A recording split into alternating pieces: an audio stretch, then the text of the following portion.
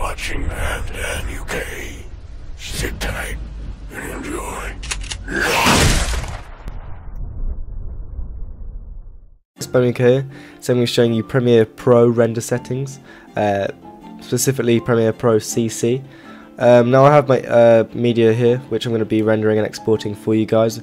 Uh, this isn't actually 60 FPS, um, so do we kind of forget about that, but it's going to come up with a couple of errors basically, but uh, it isn't to matter.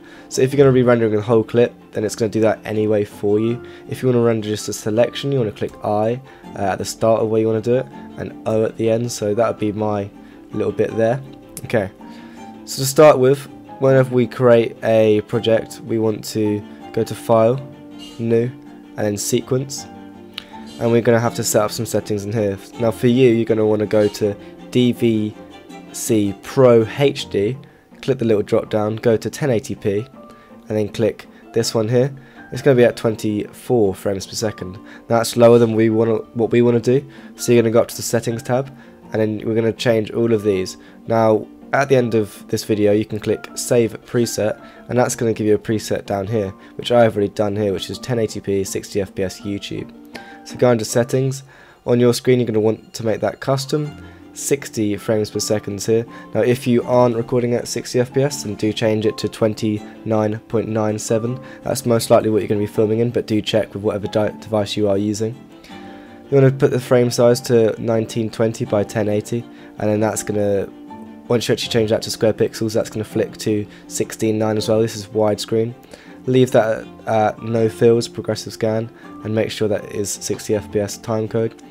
Now depending on what recording device you are using for your microphone or however your input is for audio um, this is most likely going to stay like this but do check otherwise um, and then leave all this here as it is. Don't bother clicking any of these leave it as it is. Then click save preset and obviously then you can name it what you want to call it.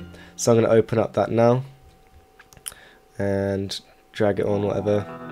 Okay, so that's now on there. To render it, you go to File, Export, Export Media.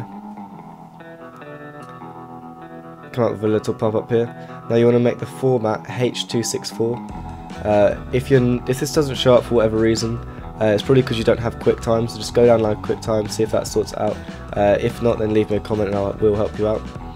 Uh, change this, you want to click Y just to be quick, or just scroll to the bottom if you can, scroll quickly and put it on YouTube 1080p HD. Uh, you want to export the video and the audio, so do that. Also at the end of this you can save the preset like I have. Uh, I've saved up here, YouTube 1080p 60fps. Oh, I've noticed error there. Um, anyway, uh, so once you've done that here, click the video tab. It might be on effects to begin with, but leave that blank. Uh, go to the videos tab and then make sure this is what it is.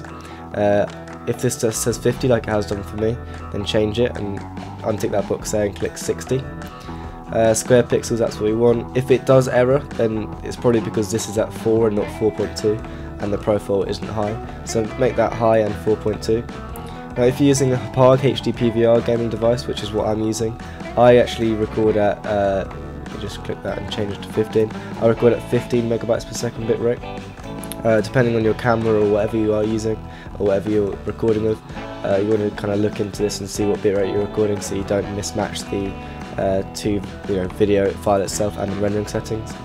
And you can also um, leave these blank here and just click export. And there you go your video is going to be exporting. It's going to take a little while on my Mac. Uh, it's not the most powerful thing in the world for rendering. I use my other computer usually. But uh, that's it for today's video guys. Thank you very much for watching. If you did like the video do obviously leave a like. That's very helpful. And also comment below saying it did help you out. And if you are wanting to stick around please do subscribe. It's been BamDanUK and I'm out. Peace, guys. Cheers.